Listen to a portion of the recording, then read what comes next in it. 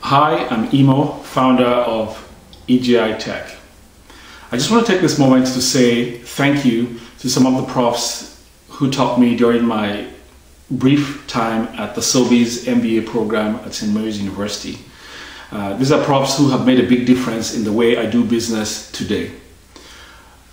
EjiTech is a company that teaches people how to manage their finances, and most of our content, or most of what we do, uh, resides on our website, ejitech.com.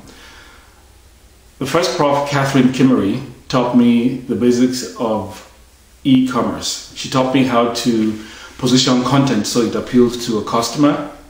She also taught me how to, to use analytics to sift through uh, the customer's interaction with the website so that I could position my content and services to best suit the needs of our customer.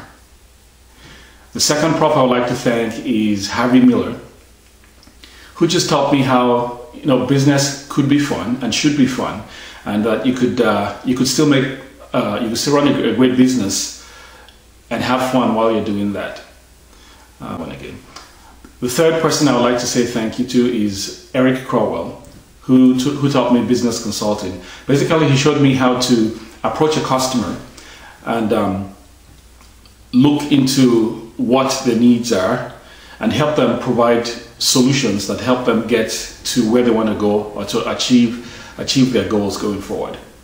Now I know every now and then um, maybe people don't say it enough, but uh, these three profs and many of the others who I haven't mentioned today have made a big difference in the way I do business here in Nova Scotia. So to all the profs who taught me while I was there, and to the Sobeys MBA program, I want to say a big thank you. You truly have made a difference in my life and in the way I do business here in Nova Scotia.